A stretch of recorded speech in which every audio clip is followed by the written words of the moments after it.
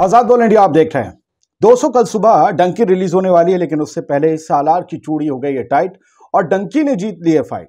अब बात शाहरुख खान या प्रभास की फ़िल्म की कहानी से कोसों दूर उस कहानी पर अटक गई है, जहाँ से शुरू होती किंग खान की बादशाहत।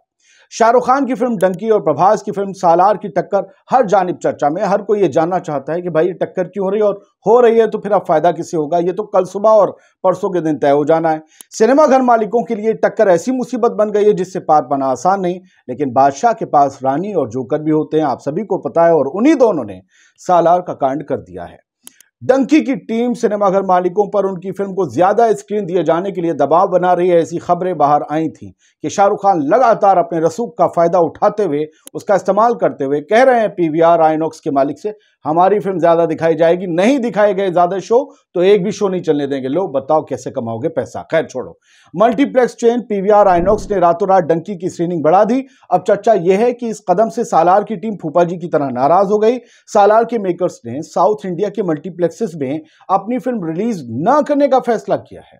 यानी डंकी के लिए साउथ में भी साफ़ है मैदान और बायकॉट गैंग लगाएगा झंडू पाम वो अभी भी कह रहा है, अरे, बताऊँगा मैं, आगे बताऊँगा।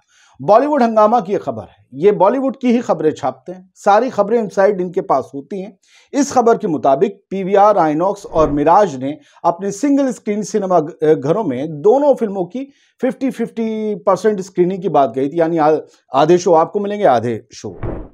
उन्हें मिलेंगे सालार और इनमें बढ़ जाएँगे डंकी में। हालाँकि शाहरुख खान की कंपनी रेड चिलीज एंटरटेनमेंट ने मल्टीप्लेक्स चेन के साथ अपनी फ़िल्म के पक्ष में करार कर लिया। कि हमारे शो ज़्यादा दिखाए जाएँगे। इस करार के तहत पीवीआर आइनॉक्स के सिंगल स्क्रीन सिनेमा घरों के सभी शो डंकी को दे दिए गए। मल्टीप्लेक्स चेन में दोनों फ़िल्में चलेंगी, लेकिन सिंगल स्क्रीन पर सिर्फ़ डंकी चलेगी। फिर से सुनिए। इस करार के तहत पीवीआर आइनॉक्स के सिंगल स्क्रीन सिनेमा घरों के सभी शो डंकी को दे दिए गए। बस यहीं से मिर्ची लगी है लोगों के। इससे सालार के निर्माताओं को, मेकर्स को बड़ा झटका लगा। डंकी का डिस्ट्रीब्यूशन मशहूर कंपनी पेन मरुधर कर रही है। बहुत बड़ी कंपनी है और वो अपना घाटा नहीं होने देगी। सालार के डिस्ट्रीब्यूशन का काम अनिल थाडानी की डबल ए यानी ए ए फ़िल्म देख रही है। सालार की टीम पीवीआर आइनॉक्स और उसके अध्यक्ष अजय बिजली, नाम याद रखिएगा, इनका बाइक और बहुत उठ है। पीवीआर आइनॉक्स और उसके अध्यक्ष जो हैं, अजय बिजली पर डंकी की टीम के तरीकों को रोकने के बजाय उनका साथ देने के लिए साथ देने की वजह से नाराज़ हैं। खबर यह है कि डबल ए फिल्म्स और होम बेल पिक्चर्स जिसने सालार की जो प्रोडक्शन कंपनी है, उसने इस पर सख्त फैसला लेते हुए साउथ इंडिया में पीवीआर आइनॉक्स और मिराज में अपनी फ़िल्म रिलीज़ नहीं करने का फैसला लिया है। और भाई, डंकी की डेट तो एक साल पहले से ही सभी को पता है कि अनाउंस हो गई थी। आप ही साल आर को सितंबर से दिसंबर तक ले आए तो मोटा पतला सोचकर लाना चाहिए था। पहले तो शाहरुख खान का ही हक है सिंगल स्क्रीन पर। उन्होंने पहले से ही बात कर रखी थी। सितंबर में किस वजह से सालार खिसकी सबको पता है? अब पीवीआर पर कुछ दर्शक या यूँ कहें कि फैंस भड़क गए हैं। इनमें सिर्फ़ ऐसा नहीं है कि प्रभास के फ़ैन हैं, बल्कि शाहरुख खान को ना चाहने वाले भी हैं। हैशटैग बाइकॉट पीवीआर ट्रेंड कर रहा है ट्विटर पर या एक्स पर। पीवीआर आइनॉक्स के इस फैसले पर प्रभास के फैंस भड़क रहे हैं। सोशल मीडिया पर प्रभास और एसआर के फैंस एक बार फिर से नॉर्थ साउथ के चक्कर को लेकर भिड़ गए हैं। ये खबर आने के बाद एक्स पर बाइकॉट पीवीआर ट्रेंड करने लगा। लोग डंकी के टिकट शो करके स्क्रीन शेयर करने लगी, ऐसा दिखाया गया। हालाँकि उन्होंने पता नहीं बाद में टिकट बुक कराया था। सिर्फ़ इस इसे ट्रेंड कराने के लिए आई डोंट नो उधर शाहरुख खान के जो फैंस हैं एस के फैंस, उनका कहना है कि इस फ़िल्म की घोषणा, यानी डंकी की एक साल पहले हुई थी।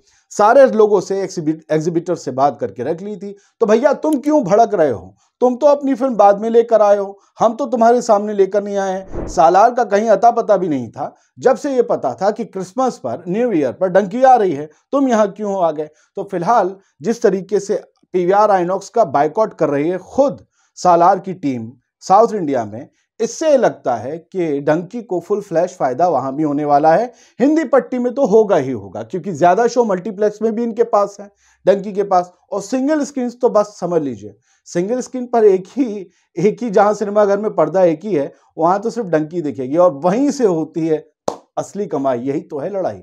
तो फ़िलहाल, सालार की चूड़ी टाइट है। क्योंकि डंकी सिर्फ़ हिंदी में बनी है सालार तो चार पाँच लैंग्वेजेस में बनी है। डंकी सिर्फ़ एक ही लैंग्वेज में बनी है और उससे इतनी घबराहट है। हिंदी पट्टी से लेकर दक्षिण तक में गूंज सुनाई दे रही है और वर्ल्ड वाइड तो ज़बरदस्त तरीके से बुकिंग चली रही है। सुबह डंकी के टिकट मेरे बुक हैं। आप देखने जा रहे हैं या नहीं? परसों मैं सालार भी देखने जाऊँगा। आप देखने जा रहे हैं नहीं? बताइएगा ज़रूर।